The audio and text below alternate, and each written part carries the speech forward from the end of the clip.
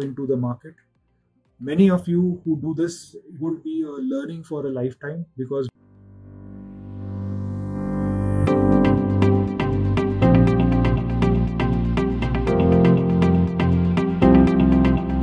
Hi, this video uh, would be about the KPIT design thinking process.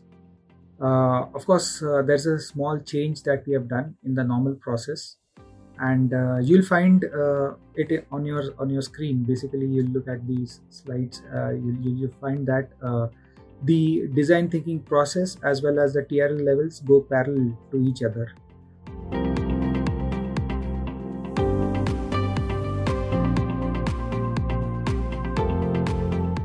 first empathizing with the the problem to understand the problem then there is a stage which where you will be uh, using the assured framework. Now uh, i'd uh, tell you more about the assured framework in the next video. But this assured framework once you have the data with with this assured framework you would start defining the problem and uh, and start ideating on it. Now till this stage you are you have you might have crossed around say TRL2 at this point the moment you are uh, at TRL3 and TRL4 you would be uh, going towards simulating your uh, prototype. That is the virtual pro prototyping. So it, this is a stage where you would be simulating the the idea on computer uh, programs. And uh, uh, the output would would optimize the the the you may say the parameters which will allow your idea or your product or your service to be at a optimized level. Now after the simulation uh, is where you go for prototyping which is a uh, you would be taking inputs from the simulation uh, which you have done.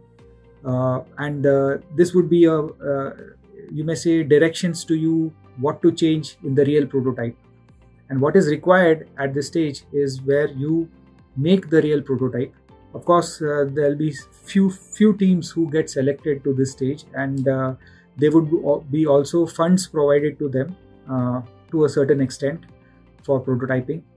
And then uh, the next stage is where you test the the the final product.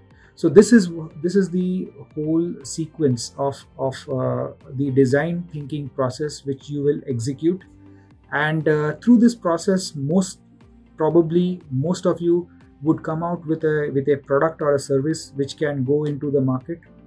Many of you who do this would would be it would be a learning for a lifetime because whenever you want to design or uh, you may say you want to bring a product in the market you would actually be using this process again. So in both the ways for people who want to become entrepreneurs and people who want to to just study the process this is a very good uh, way of uh, executing whatever you learned in engineering to a product or a service Thank you.